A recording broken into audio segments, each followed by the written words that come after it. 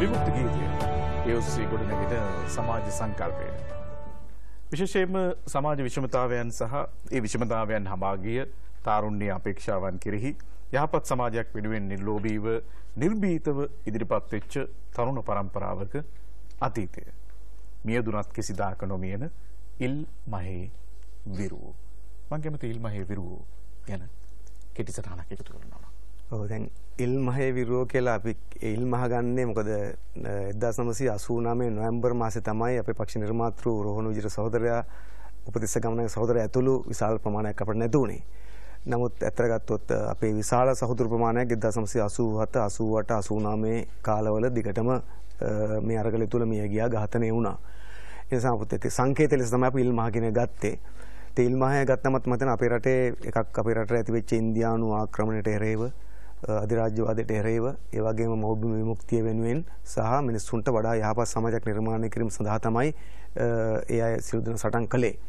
ඒ සටනේ තමයි උන් අපට අහිමි වෙන්නේ. ඒ නිසා ඒ අහිමි වෙච්ච උන් පිළිබඳව නැවත සිහිපත් කරමින් උන් අපට අහිමි වුණත් කවදාකවත් අපි මතකෙන්න ඕනේ නැත්තෙන්න කියන හැඟීම සහිතව තමයි මේ ගීතය ලියවිලා තියෙන්නේ. මට මතක් වෙනවා රොලන් බාත්ගේ මේ මේ හෙජමනි සංකල්පය ඇතුළේ පොඩ්ඩක් කතා කළ යුතුයි කියන කාරණා. මොකද දැන් ඔහු සඳහන් කරන ආකාරයට මේ ජනප්‍රිය සංස්කෘතිය ඇතුළේ අද අපි මේ මාධ්‍යකරණයට යටත් වෙච්ච සමාජයක ජීවත් වෙන්නේ. මොකද අපිව යම් ආකාරයක ආරෝපණය කරලා තිබෙන්නේ මේ සමාජයේ ජීවත් වෙන මිනිසුන් හැටියට. ඒ නිසාම අර ඉස්සර හිටපු ගැඹුරු චින්තනයකින් යුතු પરම්පරාවක් අද ඉන්නවද කියන ප්‍රශ්නේ ඇතැම් වෙලාවට ඇතමෙක් ප්‍රශ්න කරනවා. දැන් අද තාරුණ්‍ය බොහෝ වෙලාවට සරලයි මේ ගැහැණු සහ පිරිමි චරිත කියන කාරණාව තමයි හුඟක් වෙලාවට හුඟක් දෙනෙක් සඳහන් කරන්නේ. දැන් එහෙම පිරිසක් එක්ක විමුක්ති ගීතවල අද පැවැත්මක් තියෙනවා. දැන් මෙහෙමයි දැන් සමාජයක් ඉස්සරහට ගමන් කරනකොට එක එක එක රිද්ම එක තලයක තියෙන්නේ.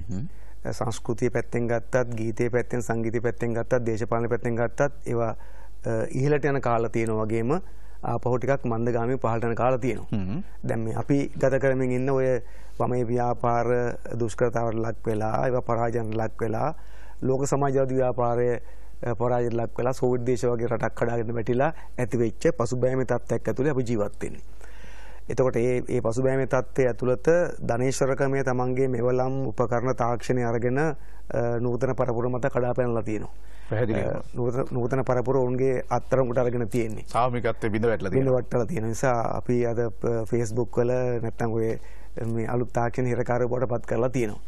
නමුත් ඒ ඔක්කොම තියෙද්දි එකට අස්සෙන් මිනිසුන්ගේ ජීවිතේ නෙමෙයි නැතිවෙමින් යන්නේ. ඒ නිසා මිනිසුන්ගේ ප්‍රශ්න එන්න වැඩි වෙලා තියෙනවා. මිනිසුන්ට තිබිච්ච අර ජීවිතේ නැතිකම නිසා නැවත මේ සාමූහිකත්වය නැවත මිනිසුන්ගේ සැබෑ ජීවිතය ඉල්ලා සිටින ඌමනාවක් සමාජය තුළ වර්ධනය වෙමින් තියෙන්නේ. ඒ නිසා අපි හිතනවා අදටත් විමුක්ති ගී විතරක් නෙවෙයි විමුක්ති ගී සහ මේ නූතන මේ සමාජ අර්බුදයන්ට විසඳුම් සොයාගත හැකි මඟ පෙන්වන කලාවක නාට්‍ය කරන එක ගීත සාහිත්‍යක අවශ්‍යතාවය අනිවාර්යයෙන්ම තියෙනවා. ඒ කියන්නේ මේ මතවාදී දේශපාලනයත් එක්ක කලාකරුවාගේ භූමිකාව කෙසේ විය යුතුද කියන එක ඔබ කතා කරන්නේ. පැහැදිලිවම. මම කැමතියි ඒක නිර්වචනයක් ඔබම දෙනවා. ඔව් ඇත්තට ගත්ත දැන් අපි හිතන්නේ මේ ඕනම යුගයක ජීවත් වෙන කලාකරුවට ඒ යුගයේ තියෙන සමාජ ප්‍රශ්න වලින් පැනලා ගිහලා ජීවත් වෙන්න බෑ. කලාකරුවා කියලා කියන්නේ මනෝලෝකයේ ජීවත් වෙන කෙනෙක් නෙවෙයි.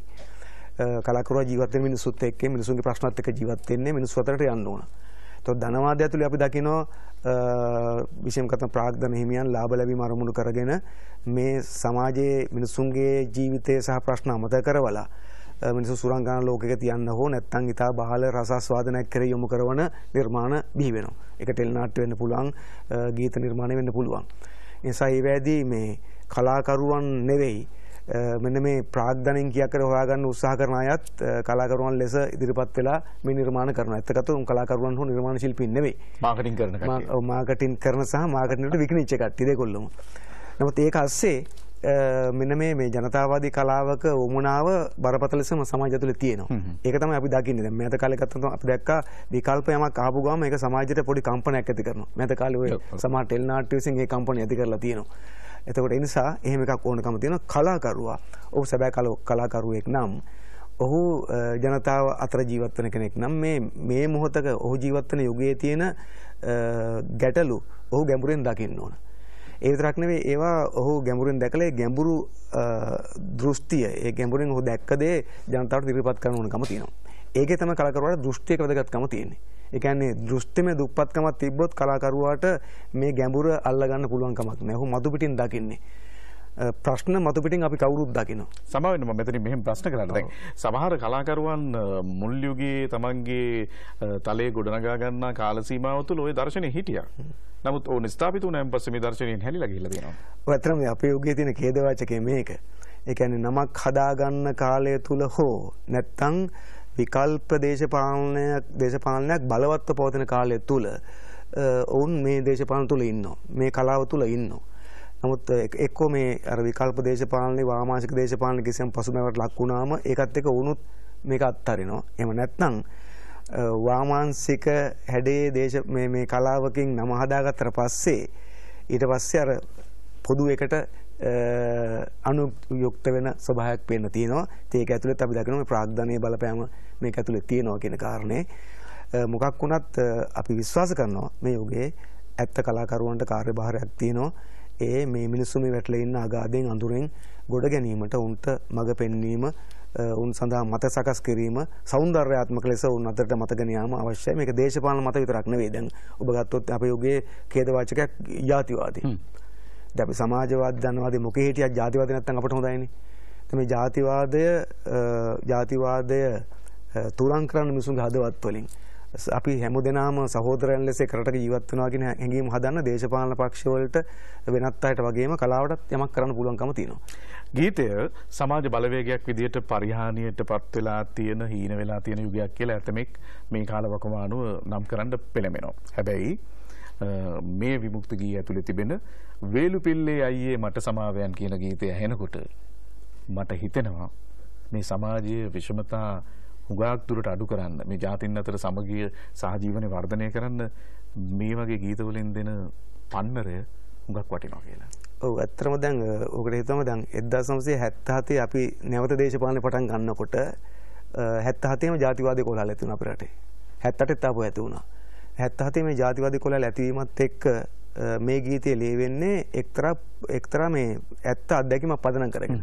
දැන් මෙහෙම සිදුවීමක් ඔය කිසියම් පුද්ගලයෙක් ෆැක්ටරි එක වැටිලා ඔහු අසනීප වෙච්ච දාගම දෙමළ කෙනෙක් තමයි ලේ දීලා තියෙන්නේ. ඒ නිසා මේ අත්දැකීම පදනම් කරන් තමයි මේ වේලුපිල්ලේ අයියකින් සින්දු ලියවෙන්නේ. මම හිතන්නේ ඇත්තකට ගීත සාහිත්‍යයේ තියෙන තා ප්‍රබලම ගීතයක් මේ ජාතිවාදයට එරෙහිව ජාතිවාදයේ වැරදි කියන එක පෙන්වන්න. නිසා දැන් ඒ වගේ ගීත අදටත් වළංගුයි අපි විශ්වාස කරන ඇතගත්තු අපේ අපේ ගීත සාහිත්‍යයේ මෙවැනි ගීත තව තව ලියවෙනවා නම් මේ මිනිසුන්ගේ හිතේ තියෙන මේ ජාතිවාදී විෂ ඉවත් කර දාලා මානවවාදයෙන් සහෝදරත්වයෙන් ලෙන්ගතුකම මිනිසුන්ගේ හදවත් පුරවන්න පුළුවන්කම තියෙනවා කියලා. කලාව විසින් කළ යුත්තේ දේ මිනිසුන්ගේ හදවත් ලෙන්ගතුකමෙන් තෙතමනෙන් සහෝදරත්වයෙන් මිත්‍රත්වයෙන් පුරවන්න පුළුවන් නම් ඒ මිනිස්සු හොඳ සමාජයක් හදාගනීවි. නමුත් කලාවේ වැඩේ කරන්නේ නැතුව ගියාම තමයි මේ මිනිසුන්ගේ හදවත් තුල විස ඉතුරු වෙන්නේ. දැන් කලාකරුවා කියන්නේත් මේ හදවතේ විස නැති කෙනෙක් වෙන්න ඕනනේ. ඒතකොට කලාකාරයෙක් වෙන්න පුළුවන් කමක් නැහැනේ. ඒ නිසා නමුත් මේ යෝගයේ ගත්තොත් එහෙම මේ සමහර කලාකරුවන් මේ තමන්ගේ වගේම හඳුනාගෙන නැති ගැටලුවක් තියෙනවා. අපි හිතනවා ඒක හඳුනාගත්ත හොඳයි කියලා. අපි ආරාධනා කරනවා නැත්නම් ගත්තොත් එහෙම මානවෝදේ කලාකරුවන්ට මේ යෝගයේ මේ තමන්ගේ වගකීම හඳුනාගෙන සුන්දර මනුස්සෙක් නිර්මාණය කිරීම සඳහා ජාතිවාදයෙන් තොර මනුස්සෙක් නිර්මාණය කිරීම සඳහා එකිනෙකාට වෛර කරන්නේ නැති මිනිහෙක් නිර්මාණය කිරීම සඳහා තමන්ගේ කලාව යොදා ගන්න පුළුවන් නම් හුඟක් හොඳයි කියලා. මට හිතෙනවාද වැඩසටහනේ උත්කෘෂ්ඨය මෙතන තිබෙන්නේ කියලා වෙලා. වේලු පිල්ලේ අයියේ මට සමාවයන් වේල් පෙරහැරෙද්දී මන් නුඹට බැන්නා. ටැක්ටරෙන් වැටි ෆැක්ටේරියේ මිදුලේ ලේවිලේ සිටියමා ඉන් ගොඩ ගත්තා. ලේ බැංකුවෙත් නොතිබුණු මට ගැලපෙන ලේ වේලු පිල්ලේ අයියේ නුඹ ළඟ තිබුණා. වේලු පිල්ලේ අයියේ මට සමාවයන් නුඹේ ලෙයිනි මං අද අමුදරු රකින්නේ.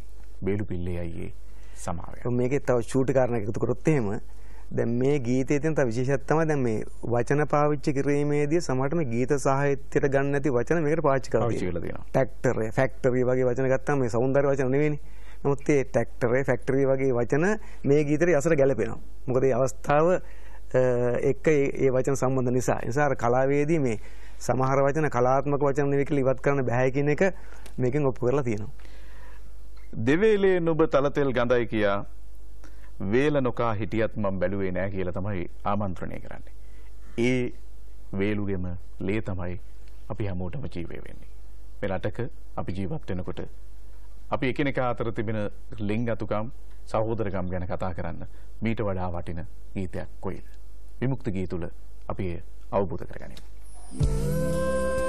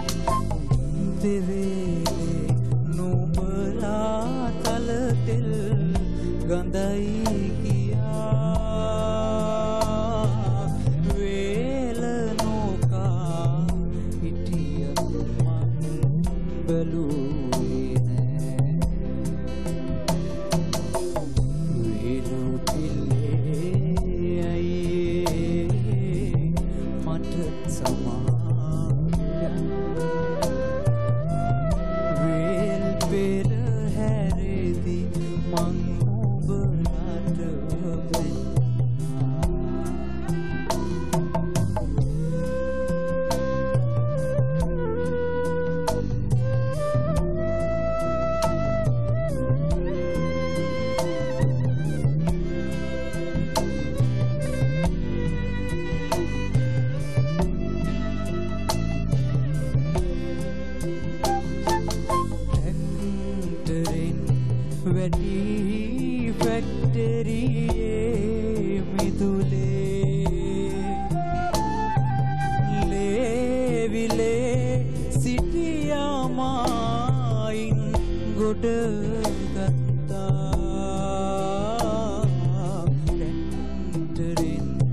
already affected.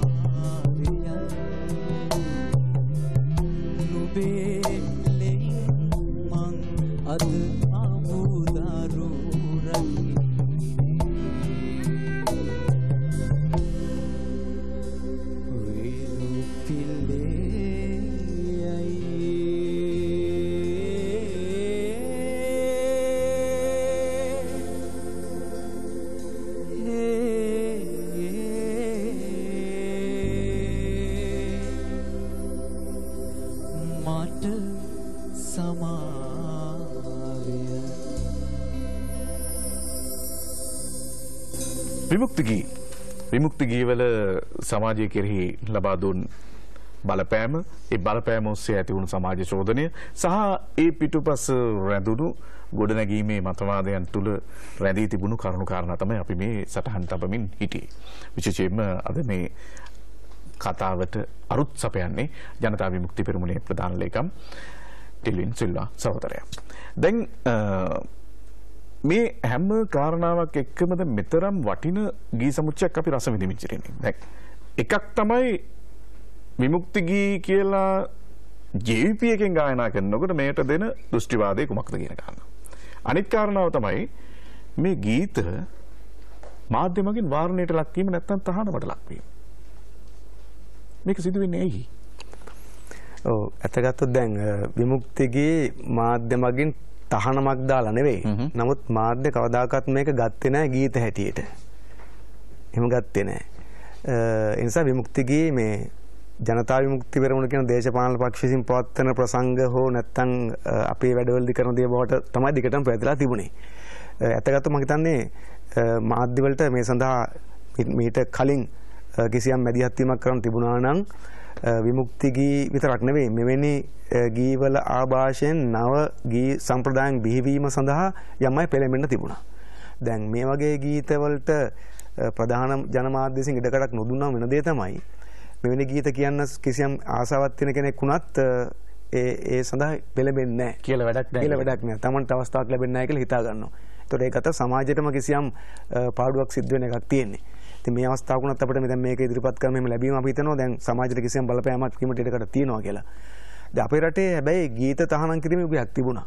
අතීතේ දේශපාලන හේතුන් මත ගීත තහනම් කරා. විමුක්ති ගේ නෙවෙයි. අපි අහගෙන එක්තරා කාලයක ජෝතිපාල මහත්තයාගේ සින්දුත් තහනම් කරලා තිබුණා කියලා. ගුවන් විදුලි ඇතුළේ. ඊට පස්සේ මට මතක වෙද්දාස ගිය පාර මගේ මේ පාර ඒ වගේ ඒකට තහනම් වෙනවා. ඊට පස්සේ 1971 ඔය අරගලේ කාලේ ජෝතිපාල තහනම් කරලා තිබලා තිනවා මේ ඒක හේතුව තමයි ඒකේ එක පදයක් තිබලා තිනවා මේ පිබිදෙන මේ යෞවන කාලය කියලා. ඒ පදේ නිසා ඒක තහනම් වෙච්ච කාලයක් තිබුණා. ඊට පස්සේ අපි දන්නවා නන්දමාලගේ සමහර සින්දු වලට වාරණ ඉදිරිපත් වෙලා තිබුණා. අපි එකම රෑණි කුරුල්ලු. ඒ වගේ ගීත වලට. ඉතින් ඒ නිසා මේ මේ අපේ රටේ එහෙම ගීත වාරණයකුත් තිබුණ ඇත්ත වශයෙන්ම ගත්තම දැන් විමුක්තිය ගී වල තිබුණ එහෙම එකක් නෙවෙයි. විමුක්තිය ගී මේ ගීත කලාවේ දේවල් හැටියට අර මායකේ දේවල්ට ගත්තේ නැහැ කවුරක්වත්. මේක මේ දේශපාලන පාක්ෂික දෙයක් ලෙසම වෙන් කළා තිබ්බා. අපි හිතනවා එහෙම නෙවෙයි. දැන් මේ විමුක්ති ගී නිර්මාණය කරේ ජනතා විමුක්ති පෙරමුණාට ගායනා කළේ ජනතා විමුක්ති පෙරමුණේ හේතුවතුන් හෝ සමාජික සමාජිකයන් වුණාට මේක සමාජයට අයිති එකක්. මේක යමක් සමාජයට ගන්න පුළුවන්කම තියෙනවා. ඔබ කියන්නේ මේ ගීතය ඇතුලේ සමාජ පරිවර්තනයක් සිදු කළ හැකි කියන කාරණා. සමාජයට පණිවිඩයක් තියෙනවා මේකෙන්. එතකොට මේක තව පෝෂණය කරගන්න ඕන නම් එතකතුත් දැන් අපි කියන්නේ විමුක්ති ගිය කියලා කියන්නේ සර්ව සම්පූර්ණ නෑනේ. මේකේ තව කලාවේ පැත්තේ වෙනස් කරගත් දේවල් තියෙන පුළුවන්කම තියෙනවා. අපි තව තව දේවල් දිහා අපේ අපේ දැක්ම බැල්ම වැඩි කර යුතු තියෙනවා. ඒතර ඒ සඳහා වුණ සංවාදයක් හැදුනොත් තමයි මේක තව පෝෂණය කරගෙන සඳහා වෙච්ච ඉඩකඩක් ලැබෙන්නේ. ඒ නිසා අපි හිතන දේ තමයි මේ මෙවැනි ගීත මේ ගීත සමාජය ඇතුළේ කිසියම් කතා බහකට සංවාදයකට සාකච්ඡාවට භාජන වෙනවා නම් ඒක සමාජයටම කිසියම් පොයින්ටයක් ලබා ගන්න පුළුවන් දෙයක් බවට පත් වෙනවා. මොකද මේ හැම ගීතයකම අරමුණක් තියෙනවා ගීතයට. දෘෂ්ටියක් තියෙනවා මේ ගීතය තුළ. ඒක මේ ගීතය ඇතුලේ සමාජ විරෝධී දෘෂ්ටියක් නැහැ. හැම හැමතිස්සෙම තියෙන සමාජයට යහපතක් කරන දෘෂ්ටියක් තියෙන්නේ. සමාජයේ යහමකට ගෙනියන දෘෂ්ටියක් තියෙන්නේ. මට එතන ගැටලුවක් තියෙනවා. දැන් ගුණදාස කපුගේම එක්තරා කාලවකවානුවකදී බරපතල විදිහට ප්‍රශ්න කරනවා මේ විරෝධාකල්ප ගී කියන මාතෘකාවට විරුද්ධව. එතකොට මේ විමුක්ති ගී ඒ වගේම ක්‍රම විරෝධී ගී සහ විරෝධාකල්ප ගී කියන මේ කාරණාව සැකෙමින් විස්තර කරලා දුන්නොත් මම හිතනවා අපේ ප්‍රේක්ෂකයන්ට වැදගත් කියලා. ඔව් දැන් විරෝධාකල්ප ගුවම එක කිසියම් සරල තලයක තියෙන්නේ. ඒ කියන්නේ ඕන කෙනෙකුට ඒ කියන්නේ කිසියම් පවතින ආයතනයකට සංස්ථාවකට සමාජයකට විරුද්ධව තියෙන තමන්ගේ දාස ගුවම විරෝධාකල්ප ගී. ඒ විරෝධාකල්ප ගී වලට සමහරවිට ප්‍රතිගාමී වෙන්න පුළුවන් සමහර විරෝධාකල්ප ගී. ඒ කියන්නේ හොඳ දෙයක්කට එරෙහිව වෙන දෙයක් කිව්වොත් එහෙම.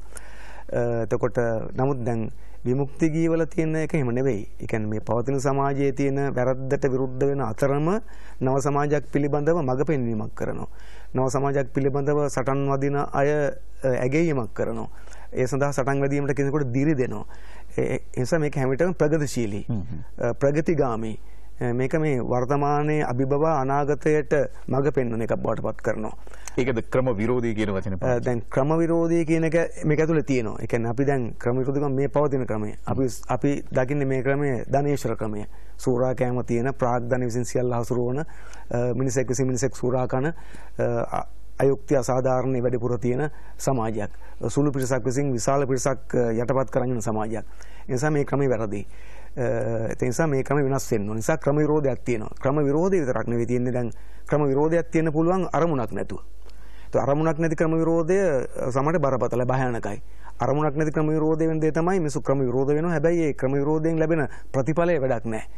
හැබැයි ක්‍රම විරෝධයට ඉලක්කයක් එල්ලයක් අරමුණක් තියෙන්න ඕන. ඒතකොට ක්‍රම විරෝධයේ ඉලක්කය එල්ලේ අරමුණ බවට පත් වෙනකම තින්නේ මේ ක්‍රමයට වඩා සාධාරණ සමාජයක් හදන එකට. ඒතකොට ඒ සාධාරණ සමාජයක් හදන්න බෑ එවැනි සමාජයක් හදන්න සූදානම් මිනිස්සු නැත්තම්. දැන් අපි සාධාරණ යුක්තිගරුක සමාජයක් හදනවා නම් අලුත් සමාජයක් හදනවා නම් ඒක හදන්න ලෑස්ති ඒ ගුණාංග තියෙන මිනිස්සු නිර්මාණය වෙන්න ඕන. ඒතර මේ මිනිස්සු මේ මේ සමාජය තුළ නිර්මාණය වෙන්න ඕන. ඒතකොට ගීතයට කලාවට වගේ එකකට එවැනි මිනිහෙක් නිර්මාණය කරන්න පුළුවන්. ඒ කියන්නේ අනාගත සමාජය නියෝජනය කරන අනාගත සමාජයේ පරමාදර්ශ බවට පත් වෙන මිනිහා වර්තමාන නිර්මාණය කිරීමේදී කලාවට විශාල කාර්යභාරයක් කරන්න පුළුවන්කම තියෙනවා. ඉතින් අපි හිතනවා මේ මේ ගීත සාහිත්‍යයේදී අන්නේ කාර්යයට අත ගැසිය යුතු තියෙනවා. නිසා මේක අර මේක අර ක්‍රම විරෝධ විතරක් නෙවෙයි ක්‍රම විරෝධයෙන් එහාට ගිහිල්ලා නව සමාජයක් නිර්මාණය කිරීම සඳහා කිසියම් මඟ පෙන්වීමක් ධෛර්යයක් විශ්වාසයක් ගොඩනගන පැත්තට ගීත සාහිත්‍ය නිර්මාණය වීම අත්‍යවශ්‍යයි. කෙනෙක් කියන්න පුළුවන් මේවා දේශපාලන ගීත ගීතය කියලා කියන්නේ එහෙම කොටු කරන්න ඕන එකක් නෙවෙයි කියලා. ඒකට අපිත් එකඟයි ගීතය දේශපාලනට කොටු කරන්න ඕනේ නමුත් ඍජු දේශපාලනයෙන් වුණත් දේශපාලන යන්තම් ගෑවිලා තියෙද්දි වුණත් ගීතය පොදුවේ ගත්තොත් ගීතය හොඳ මිනිහෙක් හදන්න ඕනනේ. හරිට හරි. හොඳ මිනිහෙක් හදන්න ඕන. එතෙන්ට ගීතය තියෙන්න ඕන. මම හිතන්නේ අද නොමියන සිහිනයත් එක් ක්‍රම විරෝධී අවස්ථාවක් නිරූපණය කරන මොහොතක්. පවතින සිස්ටම් එකට වැඩිය මේක ටිකක් වෙනස්. ඉපිද මැරෙන මිනිසුන් අතර අපමණ සබදෝබිනි නෙත් ලැබුවේ මේ.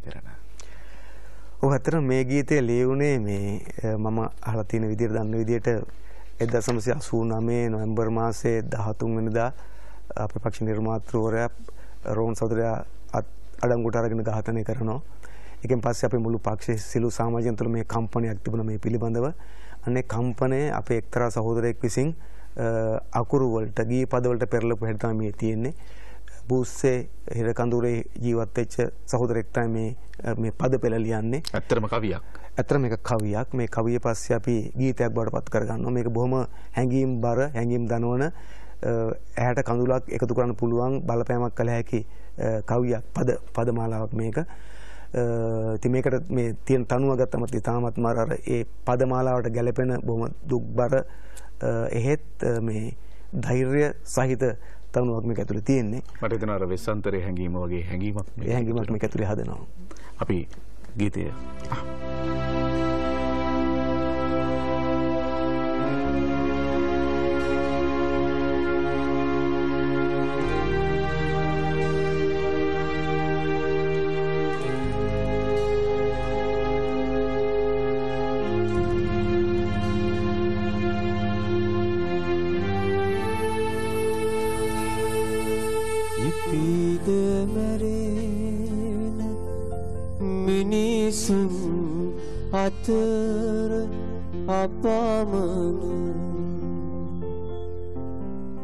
සබඳ ඔබෙනි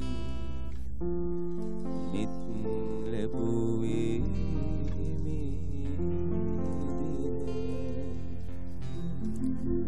තවද බොහෝ කල් වෙසෙතැයි සිතූ දිනා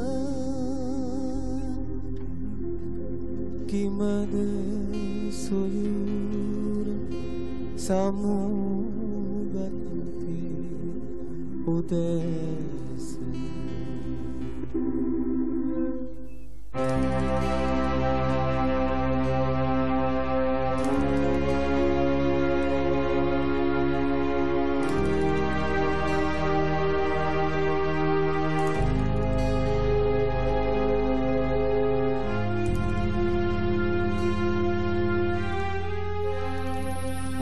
උතුර උතුර ගැලූ ගඟ වියලුණු අයුරු වපුර වපුර විජුවට ගෙනලන අයුරු අබල පිනුණු ඔරුවක තනිවුණු soyu.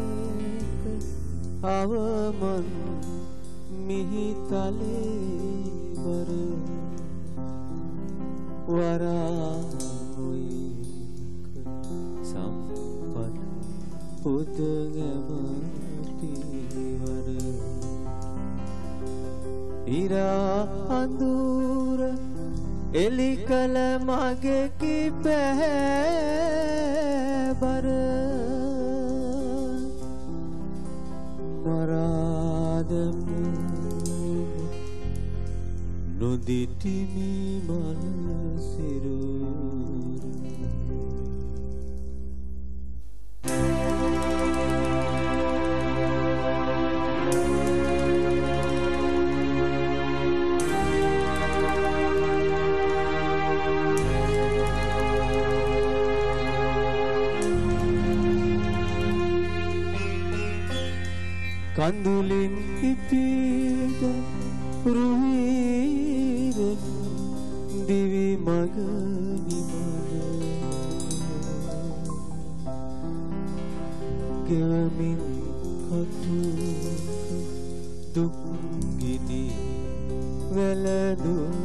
sabahı Ginen poderua unme kuada